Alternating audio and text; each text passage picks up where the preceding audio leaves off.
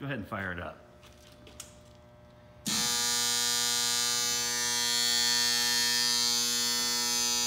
It's on automatic? Uh-huh.